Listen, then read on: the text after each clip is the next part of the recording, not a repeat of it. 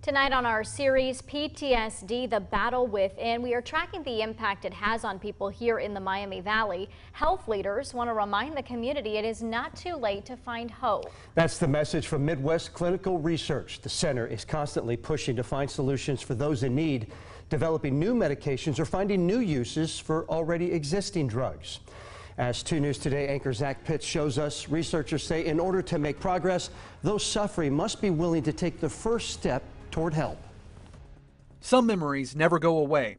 Horrific sights seen by veterans, the frightening moments for those who experienced the Oregon District shooting, years of isolation brought on by the pandemic.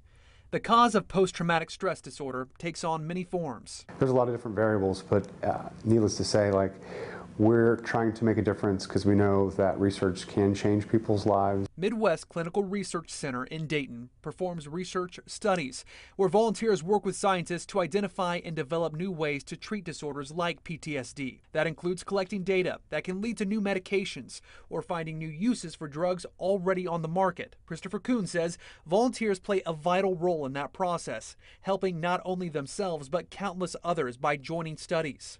I think the more that I'm out there in the community and engaging folks um, about the dire need for treatment, increased treatments, um, interventions to help those that are really struggling with post-traumatic stress, I think it's important that when I'm out on out canvassing, uh, you know, going either Cincinnati, Dayton, Columbus, and I'm reaching out that they're that they're hearing the message and that there is another option available um, that they can seek out to try and figure out what's going on with their mental health.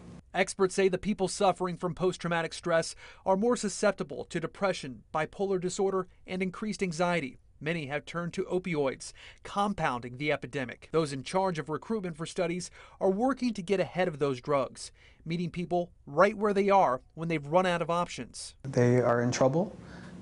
They want to help. They want help.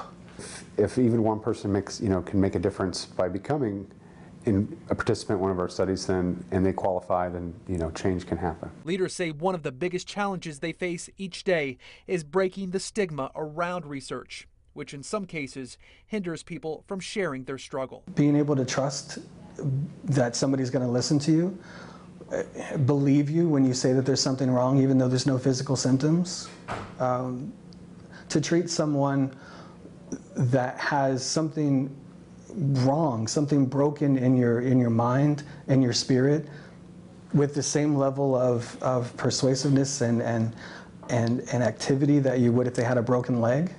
Leaders with Midwest Clinical Research say that they are working hard to reduce the stigma surrounding research and that they're here to offer a different alternative to those who are typically resistant to treatment. The program allows participants to see a physician at no cost. In fact, those willing to participate in a research study are actually compensated for their time. A study on PTSD is actually taking place right now. We've linked all that information to enroll on our website, WDTN.com.